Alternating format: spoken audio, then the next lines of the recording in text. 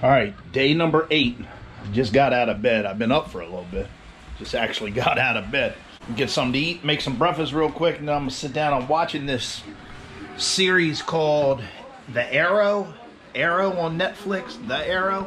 So nothing really planned today. Of course, I'll go. I'll take a walk at the beach. See how cold it is. I might walk some of the trails. And other than that, man, I'm gonna try to knock out some TikToks. I've only uh, I've only been posting a couple a day. I'm gonna try to get back up and post a lot of those. But uh, watch some TV and chill. Uh, for the most part, for the most part, stuff's not pretty clean, but I got stuff put away. I don't want to put the boys' stuff away because they'll come home Monday and want to play, and so it'll be right right where they left everything, and they can continue to play. That'll give them three days of of absolutely playing. So just chill out, man. Just me at the house today. Maybe I'll buy a dog or something. But all right, let's see what we get into. Time to eat now.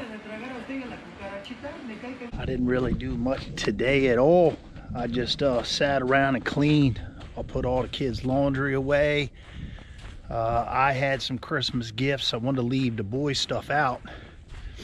So when they come home Monday, that it's all there and they can just jump right back into playing since they got the week off. Um, the water is so like clear. It's low tide. Look, that water is so clear and it's like so smooth. It's a shame it's 34 degrees out here, man. You ripped a boat through there, man. This is one of those, you know, good evening for a cruise if it wasn't winter time. but uh, we had a really high tide. It's weird because you can see you can see the uh, horseshoe pits and all the water up here and you can tell the sand like right there you can tell the sand's all been wet. So we had a really high tide and now it's low. Pretty cool. Like i said i try to come to the beach at least once a day. Just go for a little walk and uh, zen and relax um, my face was itching so bad um, I actually, I finally shaved. I sat and took a nice long tub. But uh, yeah, man, it was just, it was itching terrible. So we'll just, just go with the goatee. We'll just go with that, see what happens. What do you think? Look good? But uh, you can see the ice.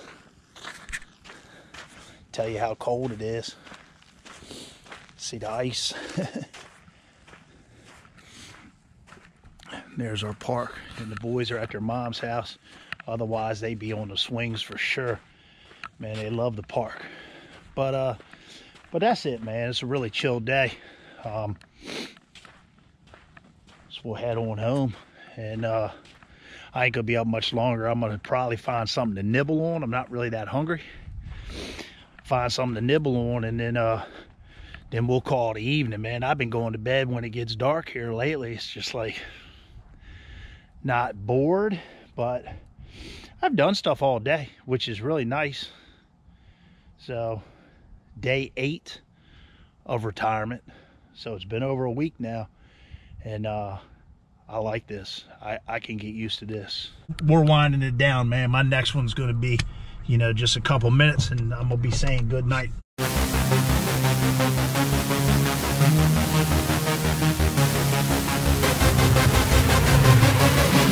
tell